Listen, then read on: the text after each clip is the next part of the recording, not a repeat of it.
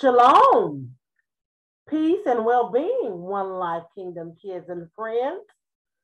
Thanks for joining me, Miss Lisa, for another fun lesson.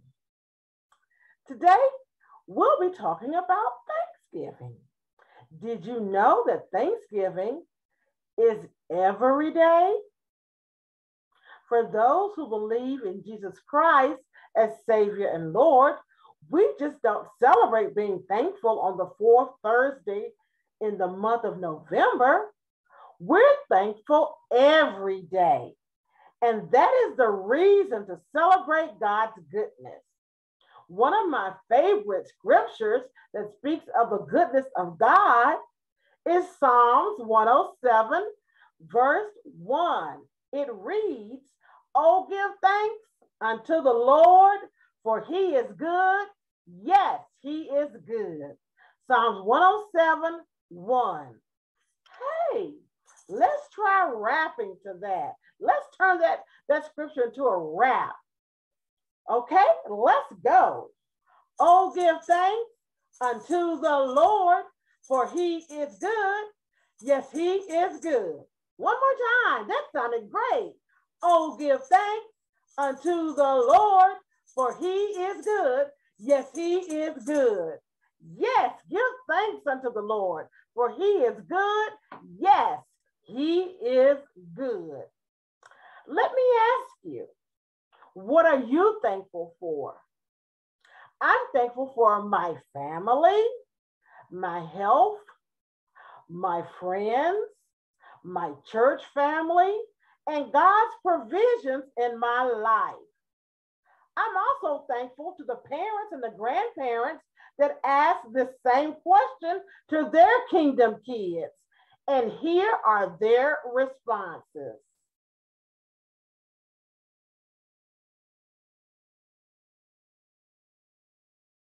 I am thankful for. Elijah says, I am thankful for Miss Lisa for teaching. My grandma Ida, she's the best grandma, and my brothers and my family. Those are good things to be thankful for, Elijah. Isaiah says, I'm thankful for having my family, my friends, food, water, and shelter. I hear you, Isaiah. I'm thankful for those things too. Kenyatta Jr. said, I'm thankful for having my family, a roof over my head, a bed to sleep in. I'm thankful for my mom and my dad, having food, friends, and my education. I agree. Those are great things to be thankful for. Jaden says, I'm thankful for simply having lots of people that love and care for me. You, Grammy Karen, being in the top three grams. Thank you for always being there, Grammy. Great job, guys. Those are a lot of things to be thankful for. Praying to God is one way to show Him that we are thankful for His blessings in our life. So let's bow our head and pray our Thanksgiving prayer. Repeat after me. Dear Father God, I give you thanks because you are good and your love never ends. Thank you for loving me and taking good care of me. Thank you for providing for me and providing everything I need.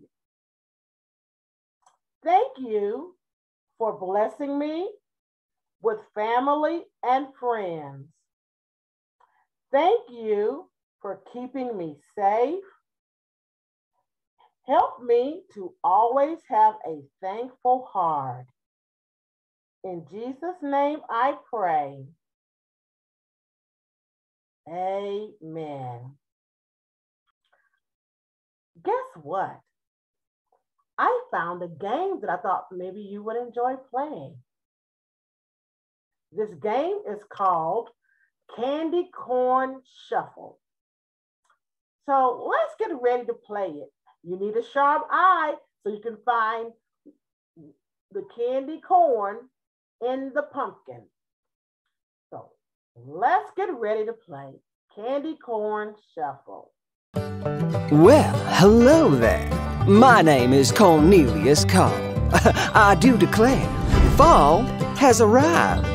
That means it's time to play one of my most beloved games. It's a tradition that has been passed down for many generations in the Cobb family. We call it the Candy Corn Shuffle. The rules are quite simple. You'll see a single, delicious candy corn on the screen. It will then be hidden behind one of several pumpkins. Those pumpkins will get shuffled around. But you've got to keep your eye on the pumpkin with the candy corn. Now just let me get my spectacles and we'll get this game started.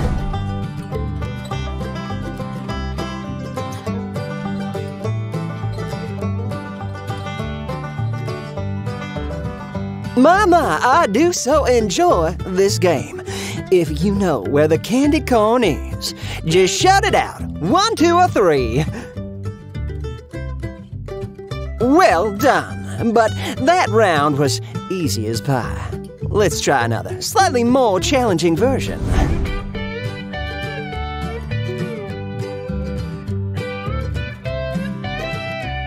All right, all right. You best have been paying attention. If you know where the candy corn is now, just shout it out. One, two, or three.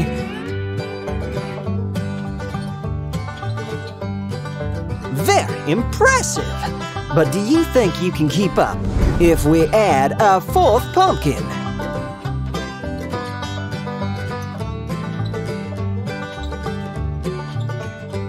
I almost got confused on that one myself.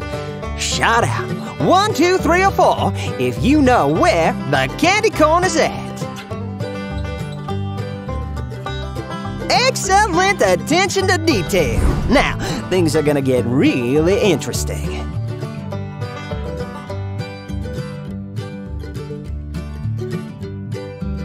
Sweet marmalade, that was fast.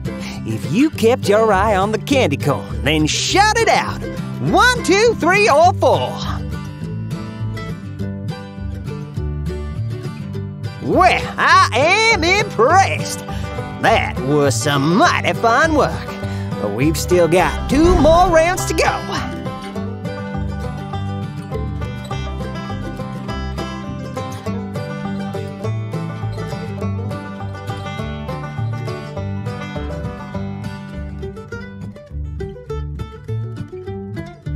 My, my, that will boggle the mind. Were you able to keep an eye on the candy cone? If so, shout it out. One, two, three, four, or five.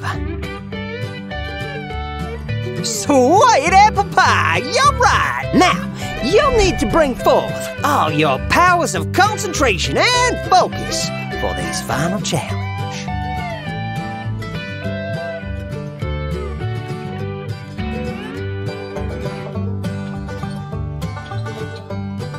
That was faster than a hot knife through butter on the 4th of July. Do you have any idea where the candy corn is at? If so, shout it out. One, two, three, four, or five. I do declare you have done it! That was quite the sight to behold! Thank you all very much for taking time to play this game today. I have thoroughly enjoyed our time together. I hope you enjoyed the candy corn shuffle. I did when I played it. I needed a, to have a sharp eye to, pin, to pinpoint which pumpkin had the candy corn. So it was definitely a test, but it was also fun. Well, boys and girls, that concludes our lesson on Thanksgiving. Remember, Thanksgiving is every day. Have a happy Thanksgiving with your family and your friends. Until next time, shalom, peace, and well being.